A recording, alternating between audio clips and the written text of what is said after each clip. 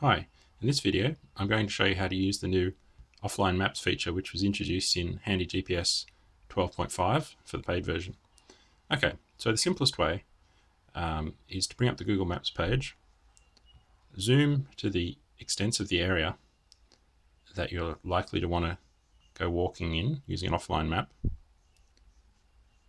Once you've got the zoom area you want, select from the menu the download map tiles option choose the tile server that you'd like, or you can enter your own URL, which includes um, Zoom X and Y in curly brackets, um, which are substituted for the actual Zoom um, co column and row when the URL is used.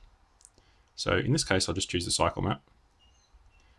So the defaults are already set up for the Zoom the um, and the bounding box of the area you want to download um, when you come from the Google Maps page. Okay, so then all you do is press the download button. It tells you approximately what size the download is going to be, how many tiles. Um, at the moment, this is limited to 100 tiles because I found that with more than 100 tiles there were problems. So 100 tiles it is at the moment. But that's still quite enough to cover a, an walking area. Um, you just it just means you can't have as high a zoom as you would otherwise. So now it's downloading the tiles. Um, as you can see here, there's a red X, which is the cancel button. There's the progress bar, and it also shows you how many tiles have been downloaded. Um, of course, when you're downloading tiles, you also have to have a connection, uh, either Wi-Fi or cellular data. Um, so the intention here is that you download the map tiles you need before you head out on your walk. And then when you head out and you walk and you find that you don't have cellular coverage for Google Maps, you can switch over to using the downloaded tiles, and uh, that's enough to um, get you out of trouble um, until we get back.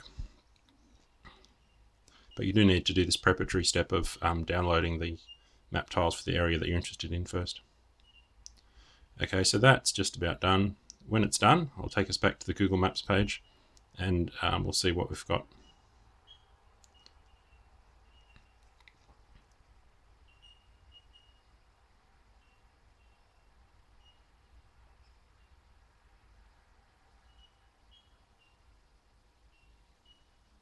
Okay, says it's done. Press the back button to go back to the Google Maps page. We see we've got the Google Maps still showing, but every refresh, which is every 10 seconds, um, it will draw the tiles then. Okay, so we can see, if we zoom out a bit, we can see that it's covered an area slightly larger than the view, a rectangle that we had, which is what we want. Um, so that when we go for our walk, we're assured that the area we were viewing will be covered by the maps. Now, as you can see, this cycle map has some contour lines. Um, so I'll turn off, now we can turn off the Google Maps layer altogether. And then this is purely, now it's purely the offline tiles that we're seeing. Okay. So create a waypoint there.